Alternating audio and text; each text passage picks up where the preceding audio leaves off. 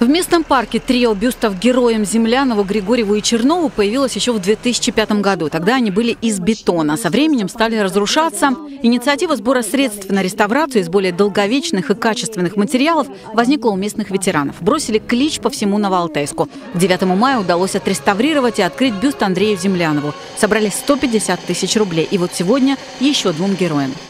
Скажите, а вот самая такая, может быть, небольшая сумма, но любая же сумма была важна. Ну, 500 вот, рублей. 500, 500 рублей. рублей, да, это небольшая сумма. Или 100 рублей, да, которые могли э, пенсионеры как бы с небольшим достатком пожертвовать. Жертвовали ради сохранения памяти, чтобы сегодняшние школьники и их родители смогли восполнить тот пробел, который, по словам Веры Егоровой, в свое время образовался из-за невозможности говорить все открыто и честно о Великой Отечественной, о ее героях. В наше время не хватает таких героев, и если мы будем помнить и передавать эту память с поколения в поколение, то в любой ситуации наша страна сможет постоять.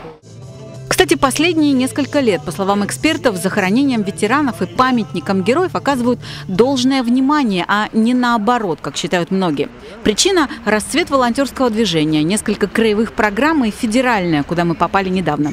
И суммы на содержание памятников и захоронений заложены там приличные. Тем более ценны частные пожертвования. Это здорово, когда общество инициирует такие вещи.